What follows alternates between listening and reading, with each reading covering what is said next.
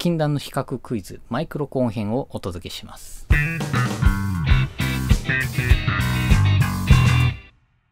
どうもこんにちは。ベースライン研究所のタペです。前回ですね、このね、ズームのマルチエフェクターの中に入っている本家をモデリングしたサウンドと、実際のね、こう本家っていうのを比較するっていうね、で、耳で聞いて、えーどっちがどっちか当てるっていうようなね、そんなようなクイズ形式の動画をお届けしました。前回ね、LINE 録音という形でね、家とかでね、このままこうシールドを挿してね、えオーディオインターフェースっていうのでパソコンにつないで録音するっていう形式でお届けしたんですけども今回はですねアンプから出した音ですね。このエフェクターを通った後にアンプから出した音を比較していくっていうようなクイズをねお届けしていきます。スタジオに行ってね大音量で録音してきましたのでそちらをね使ってやっていきたいと思います。前回見てない方のためにねもう一回おさらいをしておくとこちらの Zoom のマルチエフェクター B1X4 っていうのなんですが、まあ、ここにねペダルのない B14 っていうものがあって結構ねこれ人気機種でねね1万円しないねコスパのいいエフェクターなんですけどもこのマルチエフェクターの中にかなりの数のねエフェクターが中に入ってるわけですよ。あとルーパーとかリズムマシンとかもついててでさらに言うといろんなねこう組み合わせで保存しておくことができるので別のエフェクターの組み合わせに簡単に切り替えることができちゃうっていうね超スーパーハイテクな機材なんですけどもこちらのマルチエフェクター1万円しないんですけどもこういうね本家のがねもう数万円するものですよね。この本家の数万円する音とこちらのねマルチエフェクターの音どれだけ違いがあるのかっていうのをねやっぱ気になる方かなり多いのでマルチエフェクターっていいじゃんね。いやいやいやコンパクトエフェクターじゃないとダメだよっていうようなね、まあ、いろんな意見があると思うんですけどもそこはもう聞き比べた上で判断してもらうというのね。だからどっちがいい悪いとかではなくて皆さんがどう感じるかっていうので最終的に結論を出していただければいいなと思ってこのクイズをしております、えーで今回この Zoom のマルチエフェクターの中に入っているモデリングされているエフェクターの中で私が持っているね機材を4つね、選出して5問の問題としてやっていきます。紹介すると、こちらですね、ボスのオーバードライブの ODB3、ダークグラスのマイクロチューブス B7K ウルトラ、ズームの方に入っているのは B7K っていうね、この1個下の機種なんですけど、歪みの質としてはね、ほとんど一緒なので、こちらで比較していきましょう。サンズアンプベースドライバー DI V2 のモデルですね。4つ目がですね、MXR のベース DI プラス。ね、M80 というものですね。こちらはですね、クリーンの方にカラーっていうスイッチがあって、これも結構特徴的な音がありますので、クリーンチャンネルと歪みのね、チャンネルと2種類の音をね、比較していきます。なので、4台の機材で5問の問題をね、お届けしていきます。それではやっていきましょう。クイズスタートです。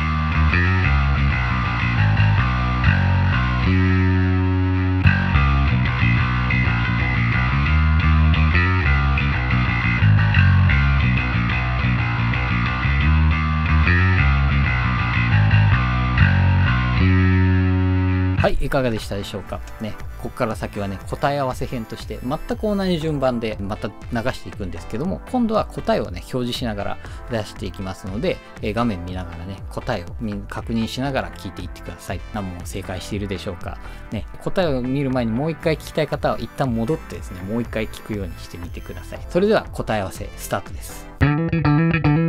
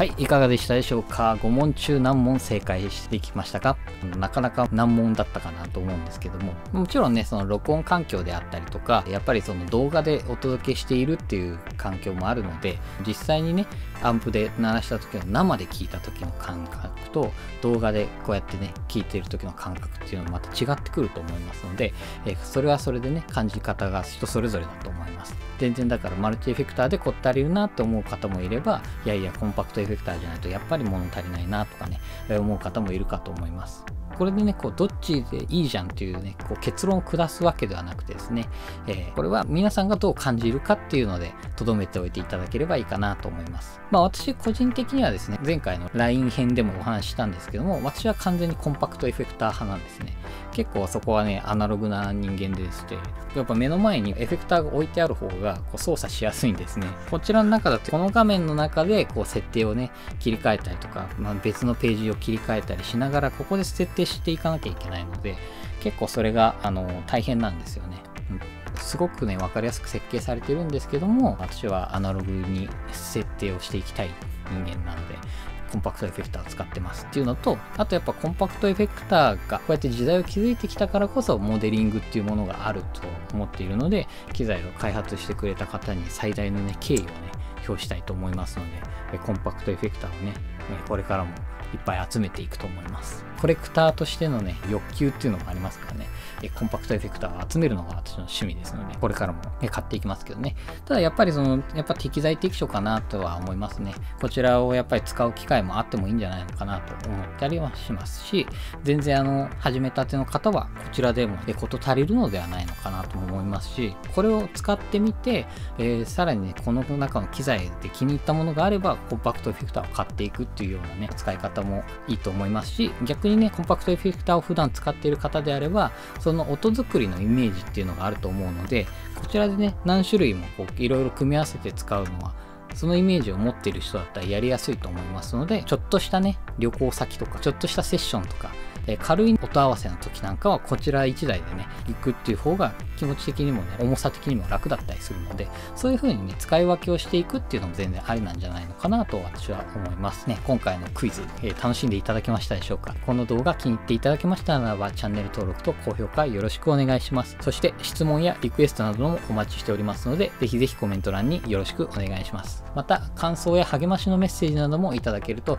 大変嬉しいので、コメント欄にね、書き込んでください。それではまた次回別の動画でお会いしましょう。ベースライン研究所のタペでした。